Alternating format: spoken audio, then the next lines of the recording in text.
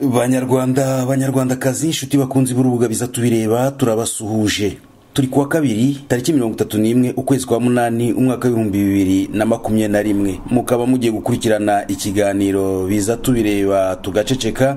Ni ikiganiro mutegurirwa n'urubuga biza tubireba mukakigezwaho nanjye jeanne pomusene mpuramusanga inshuti muduteze amatwi tubibutse ko iki kiganiro twagiteguye mu rwego rwo gushishikariza abanyarwanda gucika ku muco mubi wo kurebera no guceceka cyane cyane ko twasanze uko kurebera no guceceka ari byo byagiye bituma igihugu cyacu u rwanda kigwa mu kangaratete iyi niyo mpamvu ikomeye ituma dukomeza gushishikariza abanyarwanda muri rusange gucika kuri uwo muco mubi ahubwo bakimakaza umuco mwiza wo kwamagana ikibi batitaye kugikora. Inshuti muduteze amatwi mu kiganiro cy'uyu munsi tugiye kuganira ku muturage warasiwe inka mu murenge wa bugeshi.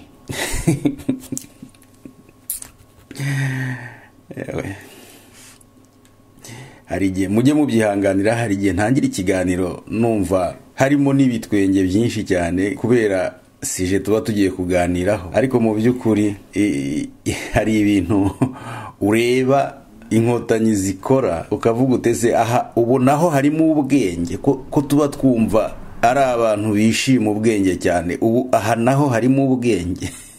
Mbega ukumva ari ibintu bisekeje.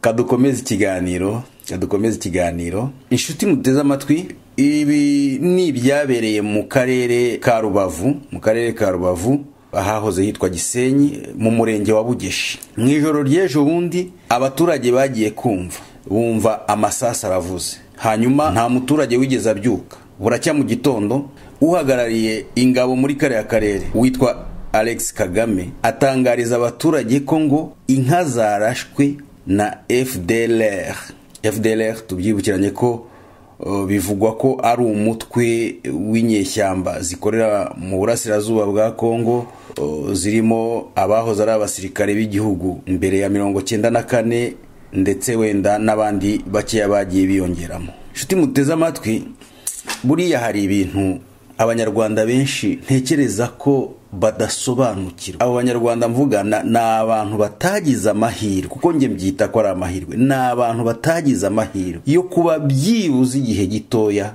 mu rwanda ruyobowe na fpr inkotanyi. Bahishwe byinshi abo bantu batigeze bagira amahirwe yo kuba byibuze agahe gatoya mu rwanda ruyobowe na rpf inkotanyi. Bafite byinshi bahishwe bafite byinshi batamenya bafite byinshi badasobanukirwa ku buryo nyine kutagira ubwo bunararibonye bukeya byibuze ku nkotanyi. Biba ari ikibazo gikomeye biba ari ikibazo gikomeye. Kuko hari igihe ureba za komantere ziba zakozwe ku mbuga nkoranyambaga z'abanyarwanda kuri za yutube ukareba ukabona rwose ko abanyarwanda benshi batazi inkotanyi. Wenda ntari nakomeza nanababwire ngo hari umuntu uherutse kunyandikira aravuga ngo kuki ngo ukomeza kwita ingabo z'u rwanda inkotanyi? Igihe cyose zikiyobowe na ba manyanga abangaba ba alex kagame ba kabarebe ba ibingira igihe cyose zikiyobowe na ba manyanga nzakomeza kuzita inkotanyi kuko ndazizi ndabaza aba baziyoboye nta na rimwe igisirikare cy'u rwanda gishobora kuzaba igisirikare kizima cy'umwuga cyubaha abaturage cyubaha amategeko cyubahiriza uburenganzira bw'abenegihugu kikiyobowe n'aba bagabo. Bizasaba za generasiyo wenda kugira ngo kibe igisirikare kizima. Ariko kikiyobowe n'aba bantu baje barwana muri rpf inkotanyi. Nzakomeza kucyita inkotanyi kuko kiyobowe na ba manyanga. Aba ngaba ni abantu batagira ikintu na kimwe batinya. Nta kintu na kimwe batakora. Nta kintu na kimwe batakora. Nta kintu na kimwe bubaha. Banyarwanda banyarwandakazi mwumve neza ko njye sinshaka guhakana ko fdlr yabayeho. Yabayeho rwose. Ariko njye nk'umuntu wabaye mu rwanda ruyobowe n'inkotanyi. Nzi ubushobozi nzi aho bagarukira nzi n'aho batagarukira. Impamvu mbibabwira ni iyihe? Ngewe kiriya gihugu cya kongo naragitembereye buriya kuriya mu kireba. Naragitembereye ko ntakoze ubucuruzi nsa n'uwagitembereye rwose. Nahize imyaka ine mbere y'intambara ya mirongo cyenda nyuma ya mirongo cyenda na kane nahakoze ubucuruzi kiriya gihugu cya kongo navuga ko uburasirazuba bwacyo. Ndabuzi. Icyo nshaka kubabwira ni uko guhera muri mirongo cyenda na gatandatu guhera muri mirongo cyenda na gatandatu kugeza uyu munsi nta hantu fdr yanyura yinjira mu rwanda. Ntabwo bishoboka. Ntabwo bishoboka ibyo ndabibabwiye. Ndetse ndagira ngo nanababwire ko mu gihe cy'iperereza nyaryo mu gihe abantu bazaba bicaye bagiye kuganira kuri buri kantu kose kabaye mu rwanda. Benshi bashobora no kuzatungurwa na bimwe byiswe ibitero by'abacengezi. Bari inkotanyi zari zabikoze. Zikiyitirira abacengezi. Kugira gusa ngo babone uko barimbura abaturage bo mu ruhengeri na gisenyi. Mbibabwiye kubera yuko kuva muri mirongo cyenda na gatandatu mu burasirazuba bwa kongo bugenzurwa n'inkotanyi. Kandi zamaze kwiyentegara muri kariya karere zihahatura zihafata amasambu zirahororera zirahahinga zirahacururiza ku buryo ntabwo washoboraga kugendera ntabwo washoboraga kugenda metero ijana. Aho wakwinjirira hose. Wakwinjirira muri noru kivu wakwinjirira muri siti kivu aho wakwinjirira hose. Ntabwo washoboraga kugenda ijana. Uhereye ku mupaka muri imigirasiyo yitwa ngo ni imigirasiyo ya kongo abakubaza ibyangombwa ni inkotanyi abaguterera amakashe ni inkotanyi abakugendaho kumenya iyo ugiye ni inkotanyi. Ibyo ngenda bibabwira nk'umuntu wahacururije. Hari n'igihe bakubwiraga bati nturenga aha. N'aha tukubwiye ko muri bizinesi zawe ugiyemo utari burenga aha. N'aha bakabikubwira. Ibyo ni ibintu nabonye inshuro zirenze mirongo itanu. Ibyo ni ibintu nabonye inshuro zirenze nka mirongo itanu. Igihe kimwe nigeze kujyana n'umugabo wakoraga mu nzego z'iperereza ntamuzi duhuriye ku gisenyi ntabwo ari umuntu wari uzwi muri ako gace. Turambukana. Yari umuntu wakoreraga i kigali. Ariko tugeze kuri goma inshuro zirenga nka mirongo irindwi. Kugeza ubwo we bamubwiye bati subira inyuma.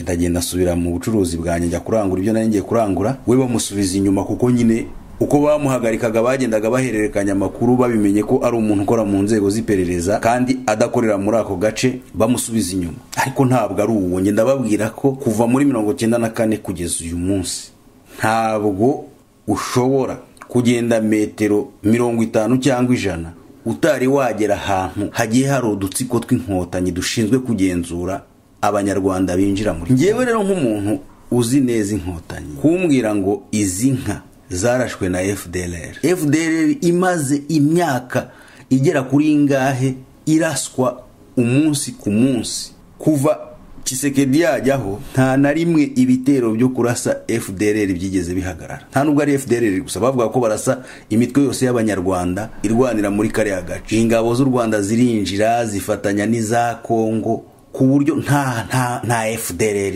muzajya mwishinga ibinyoma by'inkotanyi. Mukabyemera ngo ngo fdr yarashe inka z'umuturage.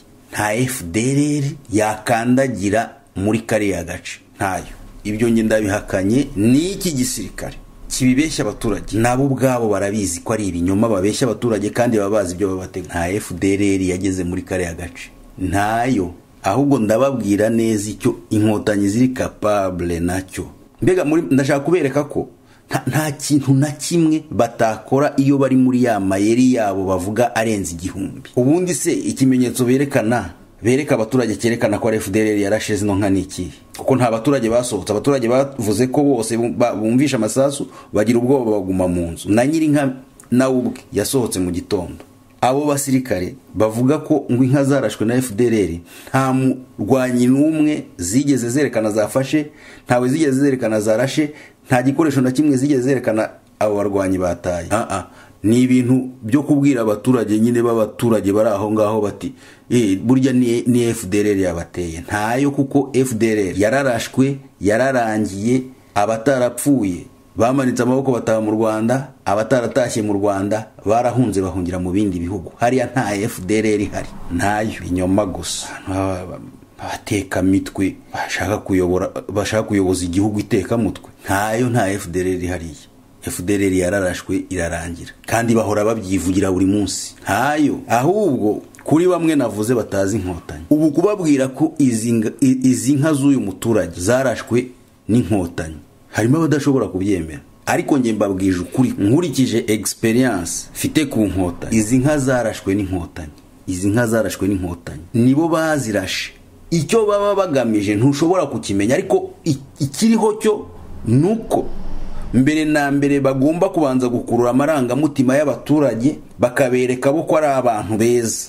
Bakabereka ko babarindiye umutekano hamwe. Bakabereka ko babakunze. Ariko nta fdr yarashize inka izi nka zarashwe na alegisi kagame n'abasirikare be.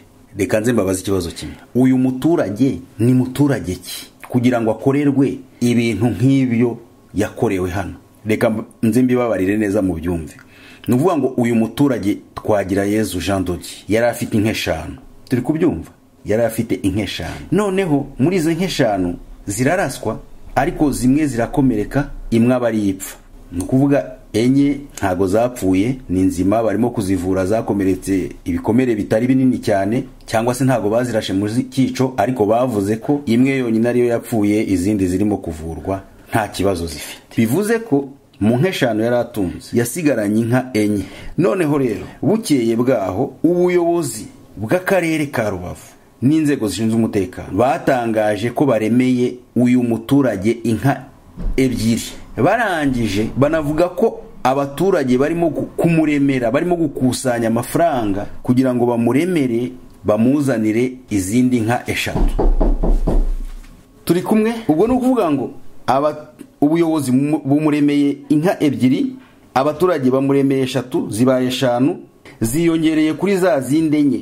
Zasigaye kubera ko hapfuye imwe zibaye inka icyenda. Hanyuma barangije baravuga ngo ngo perezida wa repubulika paul kagame ngo yaremeye uyu muturage twagerayezu jean dodiye inka eshanu zihaka. Ndagira ngo tujye muri iyo mibare neza. Murumva ko nyuma y'uko umuturage inka ze enye zirokotse ntizipfe hagapfa imwe. Hakiyongeraho ebyiri z'ubuyobozi bwamuremeye n'izindi eshatu abaturage bamuremeye. Zibaye icyenda. Hanyuma hiyongereyeho inka eshanu perezida wa repubulika yamuremeye. Ni ukuvuga zibaye inka cumi n'enye. Ariko byumvikane ko muri za zindi eshanu perezida muremeye yamuhaye inka zihaka. Bivuze ko mu mezi makeya zizaba zibyaye izindi eshanu bibaye inka zingahe cumi n'icyenda? Ariko banyarwanda banyarwandakazi. Niba atari ubuhumyi niba atari uburangare niba atari ugukurikirana amayeri n'ubucakura bw'inkotanyi niba nako atari ukutita ku bucakura n'amayeri by'inkotanyi wemera gute ibi bintu? Uyu muturage ubwabyo ni muntu ki kugira ngo ahabwe inka cumi n'eshanu? Ahabwe inka cumi n'eshanu hiyongeraho za zindi enye zarokotse zimaze kuraswa zikaba cumi n'icyenda. Ni muntu ki? Ni igiki? Kugira ngo ahabwe izo nka zose. Donc yari afite eshanu ziraraswa hapfa imwe harokoka enye. Hanyuma ahabwa izindi eshanu zirimo ebyiri z'abayobozi n'izindi eshatu z'abaturage. Hanyuma perezida nawe amwongera izindi eshanu zihaka. Uwo muntu ni muntu ki? Reka tubyibaze. Uwo muntu ni muntu. None se reka mbabaze. Ejo bundi nta mupfakazi mwabonye. Ndetse wanavugaga ko ari umucikacumu rya jenoside. Ntabwo mwamubonye yasenyewe inzu. Bakayishyira hasi. Arara ku gasozi. Ntabwo byaciye ku maradiyo atandukanye yo mu rwanda. Ko tutigeze twumva se perezida wa repubulika anamuremera byibuze n'inkimwe ariko si nk'imwe yaremereye yarorereye wenda akamuremera n'agahene cyangwa intama. Ko tutigeze twumva muremera byibuze n'intama imwe cyangwa ihene imwe. Uyu se uremerwa inka cumi n'eshanu akagira inka cumi n'icyenda ni mu ntoki. Mwumva mu bitekerezo byanyu mutekereza ko ari mu ntoki. Nta mwana w'umukobwa hambere watambutse ku ishema tv arimo avuga ko yaburabujwe kuva jenoside ikirangira kugeza uyu munsi kugeza ubwo abantu bagombye kumukotiriza udufaranga bamushakira udufaranga two kujya gukodesha. Ko batari bamwubakira byibuze n'akazu k'amabati makumyabiri. Ese izo mpuhwe ubwo ubundi zibaye ari na zo bibaye ari na byo. Zaba zigendera kuki? Zaba zishingiye kuki nta muturage ejo bundi berekanye w'umukecuru w'imyaka ijana n'itanu. Berekanye uba mu kintu cy'ikibandahori kidahomye gisakaje amabati yatobaguritse. Gatabaza isoni zamukora akavuga ngo ngo bagiye kumwubakira. Ko perezida wa repubulika ntabwo byaciye ku maradiyo ko perezida wa repubulika atigeze avuga ati uwo mukecuru nonaha nimugende mumwubakire inzu mwibone yahagaze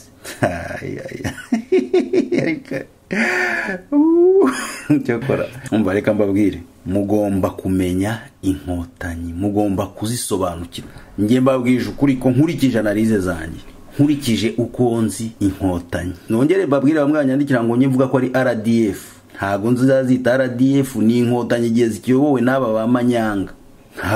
Ni inkotanyi. Nkurikije rero amayeri n'ubucakura bwazo. Nibo barashize inka ahubwo bari bafite amarangamutima y'abaturage bashaka gukurura bashaka kubeshya bashaka kwiyerekana nk'abantu beza bafite ibindi bagambiriye kubabeshya n'uburyo bashaka kwiyerekana barabitegura baraza barasa inka z'umuturage. Niba atari bo bazirashe bazerekane ibimenyetso bifatika byerekana ko ari fdr yazirashe. Erega ngenda bibabwira nk'umuntu bazi. Abangaba ngewe rimwe nigeze kubibonera. Military police ikiyoborwa n'uwitwa rwahama jackson.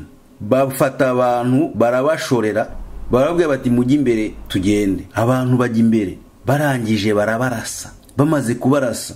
Mu kanya tugiye kumva twumva kuri radiyo baravuze ngo ngo abo barashwe ngo ngo ni abatangiriye ngo abasirikare ngo bari bari kuri paturuye ngo babatera amabuye. Ariko ingorane ziragwira. Aba doke bakakubeshya ngo ngo umuturage ngo ngo yarasiba inka barangije baragenda bikorera inka zose zibaho barazimuzanira. Ubu se hafi y'uyu muturage ugiye kureba nta mukecuru cyangwa umusaza wasanga atagira n'intama uri aho ngaho. Ku buryo abaturage bamuremera akarere kakamuremera perezida akamuremera kugeza ubwo agira inka cumi n'icyenda yari asanganywe eshanu ubwo ni ukuvuga ko ugiye hariya hafi y'aho atuye. Nta muturage wasanga atagira n'intama cyangwa ihene. Arewe ariko kutamenya inkotanyi kutamenya inkotanyi. Ni bimwe mu bintu bishobora gutera agahinda ku buryo nyine.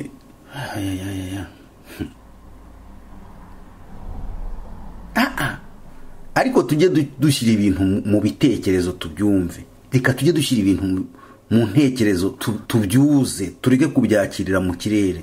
Uyu muturage ni muntu ki? Turabona abana ku muhanda batajya kwiga kubera ko iwabo bakennye babuze ubushobozi bwo kohereza ku ishuri. Turabona abapfakazi batagira kirengera batagira n'ihene cyangwa intama bakuraho n'agafumbire. Turabona abasenyerwa utuzu twabo bakarara ku gasozi. Perezida wa repubulika ntaragira gutya ngo avuge ati byibuze ndumva impuhwe zije ni mu bakorera utu n'utu hanyuma umuturage ahawe inka cumi n'icyenda.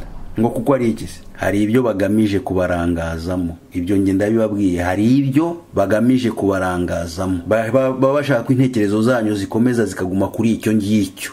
Arewe aho waca hose muri kongo ukandagira umusirikare w'umunyarwanda. Aho waca hose. Hari abagiyeyo muri mirongo cyenda na gatandatu bagumayo hari abagiyeyo muri za bibiri bagumayo hari abagiye muri za bibiri na gatanu bagumayo. Ubu kongo ntinashobora kumenya ko atari abaturage bayo. Kuko muri kariya gace hasanzwe hari abantu bavuga ururimi rw'ikinyarwanda. Abo nibo birirwa bakontorora kariya karere kose bagatanga amakuru mu rwanda. Hanyuma ngo fdr ngo yaturutse iyo yose igenda ica kuri abo ngabo. Ngo irambuka ngo iraza yinjira ku gisenyi ngo yica inka z'umuturage. Arewe amanyanga y'inkotanyi nkurikije uburyo nyazi. Ntabwo ushobora kumbeshya ngo izi nka zarashwe n'abandi bantu batari inkotanyi. Nibo bazirashe ahubwo bari bafite tageti bari bafite ikintu bagambiriye bashaka kwiyerekanamo bashaka kurangazamo abaturage ariko nibo bazirashe. Kimure ku bucakura. Ibyo nimureba kubibeshya. Muzajye mubibeshya izo ndangare muzajye mubibeshya bamwe mwirirwa mushukashuka ngo nibaze muri za visiti rwanda bahagera mukabica muzajye mubibeshya abandi. Ntimukabibeshye umuntu wabaye aho ngaho bazi arasoni ariko koko abaturage bamwe babuze n'amazi yo kunywa hanyuma umwe ngewe mwumve ko nta kintu mpfa n'uyu muturage ntacyo mpfa nawe. Byari ngombwa ko koko niba izo ngorane zamubayeho yashumbushwa ariko se arashumbushwa yari afite inka eshanu agahabwa inka cumi n'eshanu. Akaba agira cumi n'icyenda. Namwe mukabyemera. Ibyo rwose ngewe nta muntu uzabimbeshya. Ababibeshywa mukabyemera mujye mukomeza mubyemere ariko igihe baba batipe imyaka nabamaze iruhande ntabwo bambeshya ikintu nk'iki ngiki. Ntabwo bibaho rwose. Ikindi kintu nshaka kurangirizaho rero ni ihohoterwa rikomeje gukorerwa abanyarwanda b'abakene. Banyarwanda banyarwandakazi. Ntabwo abanyarwanda banganya ubushobozi ntibateze no kubunganya kandi si abanyarwanda gusa ku isi hose ntabwo abantu bashobora kunganya ubushobozi. Mu rwanda uwifite afite uko abaho afite uko arya afite uko yambara umukene akagira uko arya akagira uko yambara. Banyarwanda banyarwandakazi. Ndashaka kugaruka ku bantu barimo gufatwa bagafungwa bagakatirwa imyaka n'imyaka ngo barazira ko ngo binjije imyenda ya caguwa mu gihugu. Imyenda ya caguwa ni hehe itambarwa ngewe ndagira ngo mbwire abantu bari ku mugabane w'uburayi mbwire abantu bari muri amerika mbwire abantu mbega bari kuri kontina zose hirya no hino. Nimutubwire aho muba. Imyenda ya caguwa ntabwo yambarwa. Imyenda ya caguwa ntabwo yambarwa. Leta y'u rwanda yagize gutya? Muri bwa bucuruzi bwayo bishaka ko ikora ubucuruzi mu banyarwanda nyamara ikirengagiza agahimano karimo. Baravuga bati imyenda ya caguwa iraciwe. Ntizongera kwinjira mu rwanda. Barangije bati abanyarwanda bagomba gukoresha made in rwanda. Banyarwanda banyarwandakazi njye maze igihe kinini mvugana n'abantu bo mu biturage. Abasaza bamwe b'abakene b'abahinzi batagira n'amasambu yabo bahinga ari uguhingira aya makoperative ya rpf bakambwira bati ishati ya made in rwanda y'ibihumbi icumi uyambara rimwe wayifura. Igahita ipfukagurika wayifura bwa kabiri. Nta hantu ushobora kuyijyana. Ipantaro ya made in rwanda ni uko. Uyifura kabiri wayiguze ibihumbi cumi na bitanu cyangwa makumyabiri wayifura kabiri ukaba utakongera kuyirengana karitsiye. Si umwenda wajyana ahantu. Abaturage kera yabaga yifite ibihumbi icumi yajya muri caguwa akagura imyenda nk'amapantaro abiri n'amashati abiri. Kandi ashobora kuwambara akanawujyana n'ahantu ntuzigere umenya yuko uwo mwenda ari caguwa. Barangije bata abanyarwanda bose bagomba kwambara made in rwanda. Umuturage w'umunyarwanda udafite akazi udafite isambu ahinga azajya akura hehe? Ibihumbi icumi cyangwa ibihumbi makumyabiri byo kugura ipantaro ya made in rwanda azambara kabiri gusa agahita ayijugunya. Azajya yakura hehe tubyemere ko umuminisitiri runaka cyangwa umudepite runaka yabishatse. Ashobora kugenda akagura ishati yambara umunsi umwe agahita ayijugunya cyangwa akayitanga. Ese nayitanga uwo azaba yihaye we ntabwo azaba amuhaye caguwa? Reka tunabyibaze. Nzi yuko iyo shati ya made in rwanda cyangwa se kubera ko ari minisitiri cyangwa depite cyangwa senateri we ntazajya kugura iyo y'ibihumbi icumi ipfuka. Azagenda agura iyihenze nyine y'ibihumbi ijana cyangwa mirongo irindwi ashobora kwambara igihe kinini. Ariko si umuturage azahora avana hehe ibihumbi icumi byo kujya kugura made in rwanda. Yambara rimwe igahita ipfukagurika. Nshuti muteze amatwi ndagira ngo mbabwire ko ibi byose ntabwo ari ibintu mugomba gufata mu buryo bworoheje. Ni ibintu mugomba gufata nk'itotezwa n'urugomo bikorerwa abaturage kandi bigomba kuzabazwa abayobozi kuko uyu munsi umuntu ariyinjiriza udushati tunga avanye muri kongo cyangwa avanye muri tanzania bakamukubita imyaka ibiri y'igifungo cyangwa itatu ngo yinjije caguwa barashaka gukomeza gucuruza ibyo byamvagari byabo kandi ku mafaranga abaturage badashobora gupfa kubona. Ibi rero bijye on record ko biri mu byo bazabazwa bigendanye n'urugo bakorera abaturage. Kansoreze kuri uyu mugabo bita rashid. Rashidi benshi mumaze iminsi mumubona akora ibiganiro akora ibiganiro ku ku mashene ya youtube avuga ibibazo yagiriye muri gereza ukuntu yakorewe yicwa rubozo ukuntu muri gereza abandi banyururu batotezwa avuga ibibazo biri mu giturage abaturage babuzwa uburenganzira bwabo. Ku munsi w'ejo baramuhamagaye kuri telefone ahamagarwa kuri telefone nk'uko karasira mu byibuka bamuhamagaye. Mwibuke ko karasira aimable bamuhamagaye kuri telefone baramu tegeka ko bitaba kuri rib. Karasira agenda agiye kumva icyo bamuhamagariye agezeyo bahita bamufunga. Ku munsi w'ejo bahamagaye rashid bamutegeka ko ngo agomba kwitaba uyu munsi saa tatu. Kugeza aka kanya sindamenya niba yitabye ariko amakuru ariho ni uko we kugeza mu gitondo yavugaga ko mu gihe cyose bazaba batamwohereje konvokasiyo atazitaba. Banyarwanda banyarwandakazi. Aba bantu bavuye mu ishyamba. Ishyamba ryanga kubavamo. Ishyamba ryanga kubavamo neza neza. Ni gute uhamagara umuntu? Urwego rw'ubugenzacyaha nka ruriya. Ruhamagara umuntu kuri telefone. Ngwino utwitabe ni gute?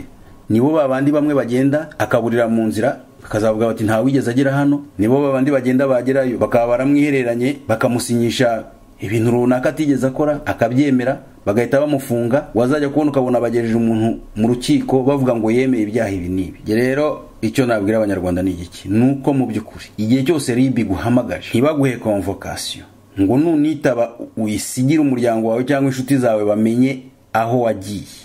Ntugomba kujyayo kuko nta tegeko ryemerera ribu guhamagara abantu kuri telefone. Niba bafite ikibazo nibahamagare umuntu bakoresheje konvokasiyo umuryango w'ubimenye kandi twongere tunababwire ko gahunda yo gushaka gucecekesha abanyarwanda gucecekesha abagerageza kwerekana amakosa akorwa n'ubutegetsi barayigerageza ariko ntabwo izakunda. Ntabwo bizakunda. Ntabwo bizakunda. Ibyo byo rwose babimenye ntabwo bizakunda. Babimenye ko gushaka gucecekesha abanyarwanda bavuga amakosa aba yakozwe n'ubutegetsi ari nko gushaka kuzimya umuriro ukoresheje esanse nibashaka batuze bumve ko bakwiriye gutega amatwi ibibazo biri mu muryango nyarwanda.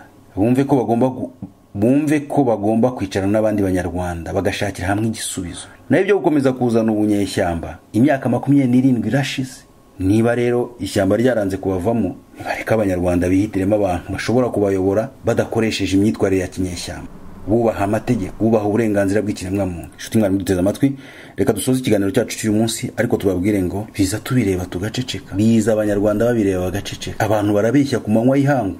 Muzi umubare w'abasirikare b'abanyarwanda buzuye mu burasirazuba bwa kongo mwirengagije ko yari amasezerano kisekedi yagiranye na kagame kisekedi akimara gufata ubutegetsi. Mwirengagije amakamyo y'abasirikare b'abanyarwanda bambutse bajya muri kongo mwigeze muyabona se asohoka agaruka? Hanyuma ngo fdr niyo yarashe inka mukabyemera. Yazirashe iturutse igihamya se kibyerekana ni iki? Iyo fdr itarigeze ibonwa n'umuntu umwe ngo bavuge bati tubonye abantu byibuze barasabasuye muri kongo birukanka ibyo bintu mukabyemera. Kadusoza ikiganiro cyacu dushimire mwebwe mwese muduha umwanya wanyu mukurikirana ibiganiro byacu. Tunashimire kandi abakomeza kutwandikira kuri imeri yacu. Tubibutse n'ubundi ko ari mporanepo arobaze gmail com. Tunababwire kandi mukomeze mukore komantere kuri sheni yacu ya youtube. Mukomeze musangize ibiganiro byacu. Bagenzi banyu ari nako mukora subscribe cyangwa se sabone nk'uko bivugwa mu ndimi z'amahanga kugira ngo turusheho kwagura umuryango nyarwanda.